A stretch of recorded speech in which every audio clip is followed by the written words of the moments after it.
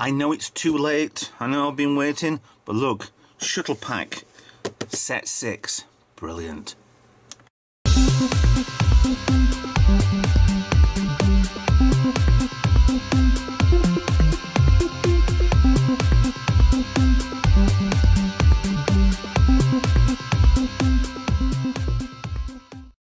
Hi guys, Retro Tech Ralph here with another Star Trek The Official Starships Collection. This time it's the Shuttlecraft Set 6. Now, I'm a bit late with this. They've had this one out for maybe a month, six weeks or so. And I have been actually sitting on this for, a, for maybe a week or so now because they were doing a um, the Black Friday deals, and I bought this part of this. Usually, with all the five of the shuttlecraft sets before this, I've got a discount code which took twenty pound off or twenty percent or whatever it was, so it made it a lot cheaper. Which I didn't get one for this because I think their um, marketing, Eaglemoss's art, uh, marketing department seemed to be a bit lacking. I think on that, but I don't know. That's that's between me and Eagle Eaglemoss. Haley ho. So, Shuttlecraft Set 6. Usual artwork for a Shuttle Pack set. I'm glad they're keeping up with the normal boxing, otherwise they look stupid. They are doing certain ones. I did the um, Discovery, uh, the, the cloaked Discovery, which is in a separate, different packaging, which had the original box. The sleeve was different, and the, the, either repackaging for resale or I don't know. I'm just glad that on some levels they've kept the original ones, but for a, for a collector's point of view, it's really quite good. Quite easy to, to crease this already, so I can't really collect this. So in this Shuttles Pack set, there is a swing, a Sphinx work pod. I think that will be that. It'll be the next gen's version of a work bee. Type 18 shuttle pod. I'll put that, possibly? Yes. And then Hawking Type 6 shuttle, which has got to be the one from, which looks like it's from Star Trek 5, but with 1701D on the back of it. Okay, confusing. And Janeway's armoured shuttle from the um, last episode of Voyager. So let's get these out. Ah. See, I like these on some level. Nothing in the box, nothing on my sleeves. Right, so what order should we do? Should we do in the order that they come out with? Yes, yes, yes, yes. Right, so the Sphinx book. Oh, I need to edit this. 21, there we go, 21, 22, 24, 23. So, get you in for the magazine, light off. Now, this will be a little bit longer than normal because there's four packs here anyway, but bear with me. So these are a lot smaller books. They're kind of a little bit smaller as the Discovery versions anyway. But Shuttle Pod, Work Pod. So it looks like marker pens. And the bottom of there. And then this weird pod bit. But it doesn't see anything that they could... Any arms that would come out. Any... Um, devices that will come off this that could help this do what it's supposed to be doing. Unless it's just a garbage pod and you just stick things on the back and take your rubbish out. 6.2 meters, 24 century, 2000 ms, meters per second. Sphinx work pod, small maneuverable vehicle. We never saw this. It was always in concept art. And I think there was Oh, wasn't there something in the tech manuals which showed these? I know there was, was one or two in the Ships of the Line calendars which were already rendered and pictured and it's, it's there. So we knew what these looked like beforehand. But I'm sure these were in the tech manuals, but we never ever saw them. It's like with the the Enterprise D, you actually had, where the saucer is, say that's a saucer, right? You got the bridge on the top, you have the main shuttle bay behind here, and behind, inside that, we only we saw mostly was shuttle bay two and the cargo bay, but the main shuttle bay actually had it went the entire deck, a couple of decks underneath the bridge, but it was the entire section underneath it. It was massive. If you got, if you ever downloaded the, there was a, a virtual walkthrough. I think I think CBS uh, banned it from uh, from anybody downloading it or something. But it actually shows you all the the shuttle bays, shuttlecraft. There's 20, 30 odd different shuttlecrafts on there, but we never actually saw it in the series, which might have been an idea of, oops, we didn't want to go down that route to show you these things, but it's nice that fan fan art comes out in the long run anyway. So kind of nacelles from the next generation. There's orange on the side, so can't, they can't be warp nacelles, but just enough to get you from A to B and do what you're supposed to be doing. And a full Okudagram sort of thing, diagram, schematic, shall we say. Pilot seat, oh, pilot seat, yeah, there. It's very small. You got the, engines here, cargo bed. Oh, yeah, yeah. Open cargo area. So this is, it could take what handbags, six handbags of stuff. I don't know. Tractor emitter. So everything's actually fitted inside this nacelle then tractor, thruster, yeah, thruster coil. Hmm. It's nice to see something like this that we never ever saw on screen. And we actually did see this one. Wasn't this one of the Defiant shuttles that they kind of, um, I think we saw once or twice, if that, in Deep Space Nine? They had to be more compact to fit inside the Defiant because it was a lot smaller ship on Deep Space Nine but still you can tell it is a shuttlecraft. It can tell it is Federation. Shuttle Type 18 shuttle pods. So even saying that, would they have used this as a full full scale run of shuttle pods? I'm saying it is a shuttle pod, not shuttlecraft, so yeah, that probably explains that one straight away. Some lovely design pictures on here. Defiant Shuttle 01. Oh, there's a fin. It's like a bit that comes out there.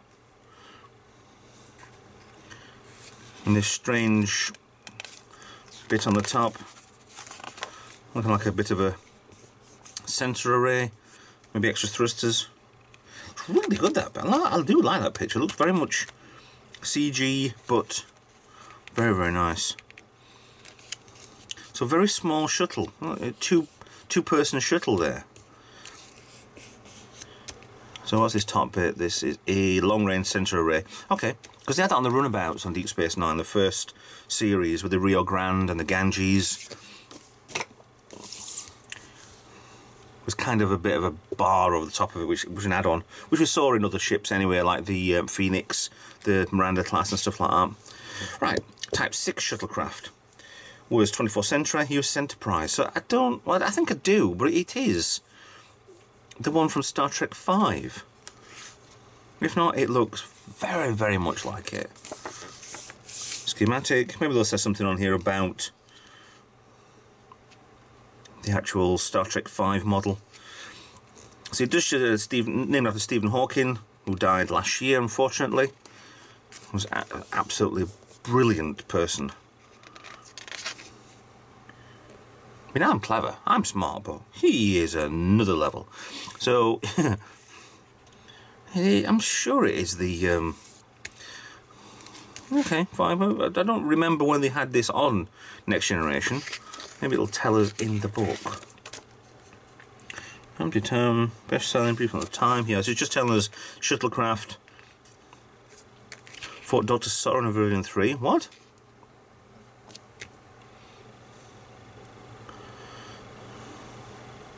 We know he was stranded there. Hawking, the Hawkins was described dispatched to collect Picard and convey him to another part of the planet where he entered Enterprise's detached saucer. Ah, so this came and picked him up. This was the one that came and uh, in front of him. Okay. So we only saw this in Star Trek Generations. Right. That explains why I don't recognise it so much. Okay. So another schematic there. Great, goody goody. Last book is Janeway's Armoured Shuttle. There's a lot of problems with the end of Voyager. Suddenly, after seven years, Janeway turns up as an admiral, suddenly comes with 20 years worth of technology, which gets Voyager back, but then would kill her own timeline. Wibbly wobbly, timey wimey, as Doctor Who fans will know. You play with the timeline, you're going to get severely messed with. That's why she got assimilated and then died, and we don't know. She did, looks like she died, she didn't, but watch watch Endgame again if you want. But is the um, ablative, is it ablative armour? Is it just extra shielding armour? Let's change the original shuttlecraft into this. But this is the armoured version. I don't know whether we actually had that as a, as a shuttle pack. I can't fully remember. Please comment in, the, in below if we had that shuttle in a shuttle pack previously. But this is the armoured version, so you're not going to see much. We've had the Voyager before with the armoured and its standard class and the Borg modified one, which I really liked. But yes, all four books and all reviewed. So, let's get on with the first. So we're getting for the, um, excuse me, the Sphinx. Beautiful Okuda I would love to to set these up somewhere. See everything in there. With a bit of light behind these it'd be an amazing, an amazing look to, to anybody's anybody's display. God, I'm glad they're not stuck in. So let's have a look. Get out of the way a second. Ah, you can see through it. Right. See the both the um, the seats there. Right, really cool. Let's get you zoomed in a little bit. Tiny ship. You can see it's palm of hand if that. But you've got oh, where did the handbags go?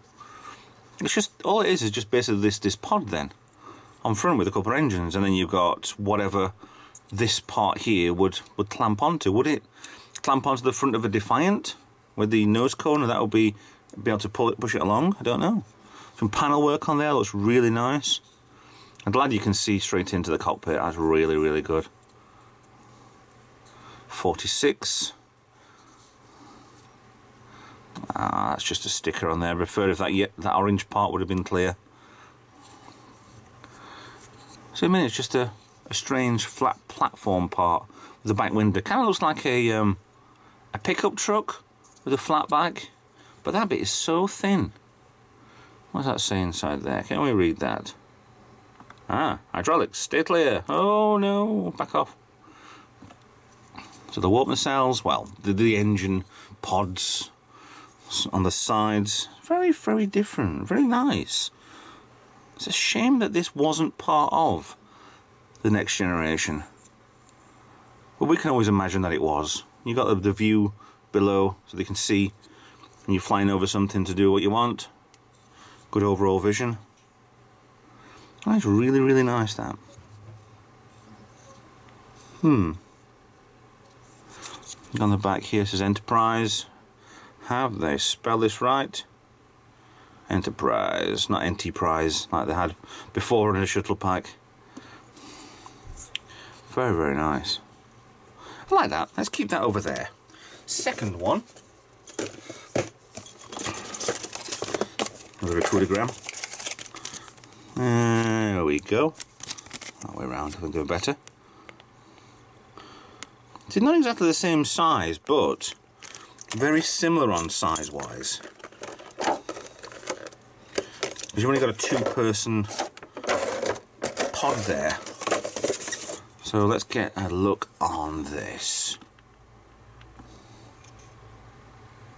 Defiant Shuttle 01.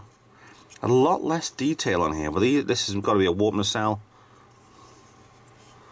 But that, wow, that is a heck of a lot of detail. They're missing paint dabs wonder if it's missing it for a reason or not missing it.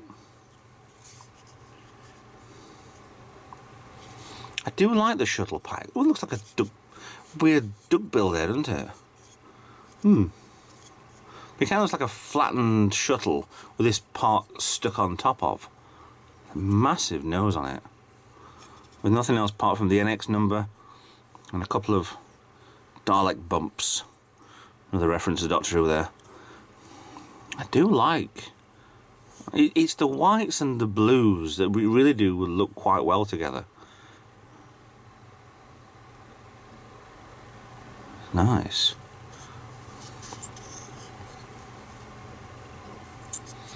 I'm not entirely certain about why these are here and why this back section here is blue. Know a lot of the uh, metals from the 24th century to be coloured duck egg, uh, yeah, duck egg blue. There were the greys before that, whites, next generation, uh, not extra, uh, movie era metals or paintwork. But why have a blue and a white? I don't know. Looks funky enough. Right, so let's get that one next to the Sphinx. Third one. My, um, I'm not sure about.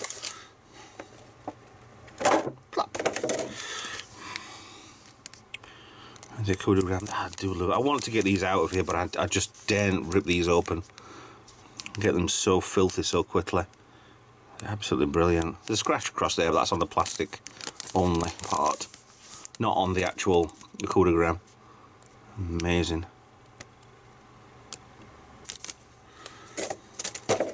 One little bit of extra stuff that they do with the Eaglemoss, which is absolutely brilliant. And this doesn't want to come out. Come on, Mr. Hawking. Thank you. So, this definitely is. Hmm. A scratch on there? Yeah.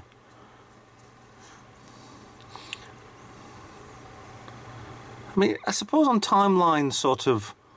Actually, actually, on normal filming, when this model was out out for Star Trek Five, that was 1989, was it? The Next Generation was going for a few years when they got Star Trek Six and Seven. Suppose they could have just dug this out of the um, out of mothballs, sort of for the model it's, itself because these parts here they're kind of like a Knight Rider sort of thing as, as the shuttle was was a, when Uhura was piloting this to fly this down to get Chekov and Sulu. How was it Chekov and Sulu? Was it the other three? Hmm. We definitely saw these, the lighting effect on the bottom there, anti-grav sort of system. But this is the next generation era. Very plain.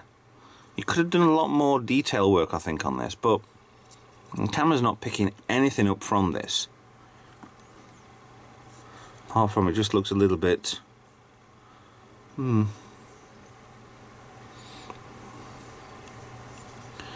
I mean, those the impulse, the blue impulse engine look quite good, but that's all. The warp nacelles have been massively butchered on paint. Look at that there. That is shockingly bad. Hmm. That side's fine. I just got blob all over it.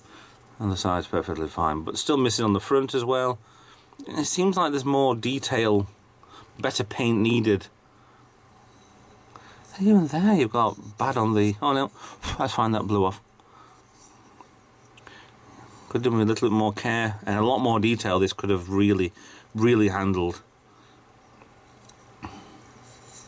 Find one of those nostrils on the top. Hmm. Nice, like it. Definitely like it. So, over here, final one. Now, I'll either like this or I won't. So this is Janeway's armoured shuttle.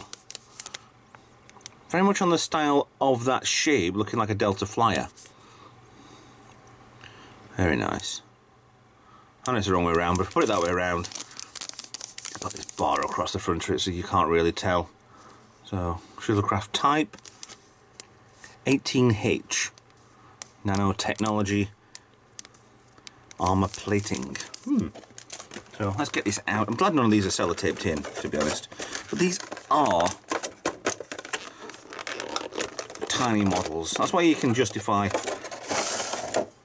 having these as a shuttle pack because they're, they're, ridiculously small. But the armoured version doesn't have any registry number. It looks like a Voyager with the nacelles the wrong way around on the back. It's very much a Voyager shape, isn't it?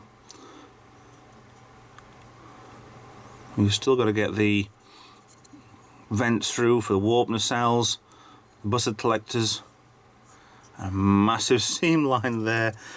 oh. This is another one that could have possibly have done with more detail work. But it kind of looks odd with the paintwork on there and that bit looks like it's been sprayed on the side parts. I don't know, wouldn't it all be the same colour paint? It's a bit odd.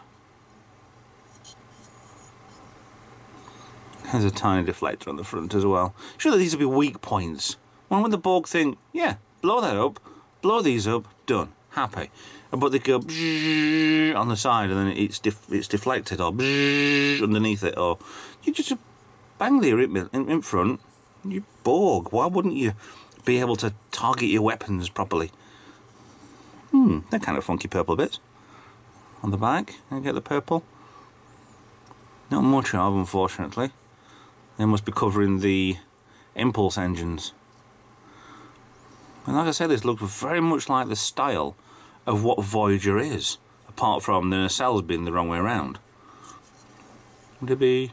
No, I don't know right. Because on the back of the pylons were the impulse engines on the Voyager. I like that. I do like it. I don't love it, but it's a good part of the shuttle set and on some levels I'm quite glad they do these. They are expensive. If you get them from from scratch from day one 75 pound is quite expensive for four models which works out more than a standard issue. But you don't really get these.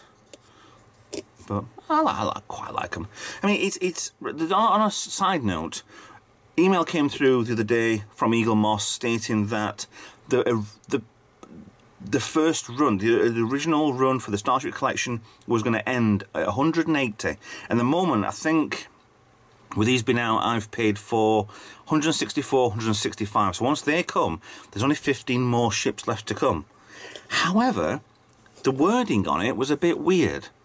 Because they were saying, yes, the, the collection's ending at 180, but there will be newer ones on the website. So whether or not they're going to do convention ones, whether or not they're going to carry doing specials, whether or not they're going to carry on doing XLs, I don't know. It's a bit. You've told us, tell us if it's going to be. I don't know. We're going to finish or we're not going to finish. It's amazing we've had, we will be having 180 starships in the collection. It's amazing that we've probably got 20 specials, We've got 20 bonuses. I don't know. We, we, and, and six packs of four of these. 32 shuttlecraft. No. 24 shuttlecraft. Sorry. So 34 shuttles that we would never have had normally. I mean, that was in one episode. That was in one scene on a film, but it is Star Trek 5 that was in a cup one, maybe two episodes as a, as a mm, yeah, blinking you'll miss it. And that was never in it. We would never have seen these sort of things as a as a model kit, as a as a anything that anybody else would have done apart from what Eaglemoss have done with these, which is really, really good. And I'm, I'm so happy that they have done these, but it has to come to an end one day. So, let's get these on top of here and start playing with them. Anyway, thank you for watching. If you like this, please, if you want to actually go buy it yourself, go on the Eaglemoss website. They are quite expensive. If not, wait for a voucher code or a discount or it's Christmas coming up. They might do some more sales at Christmas or New Year's. But these really are quite good. I really like the shuttlecraft sets because you get four very quick, easy models to play with. Review, should I say. instead of just one per, per fortnight. But yeah, thanks for watching. Please like, subscribe, follow me on, on Twitch, not Twitch, Twitter, Facebook, Discord, usual gubbins. And um, I'll see you in another video. Bye for now.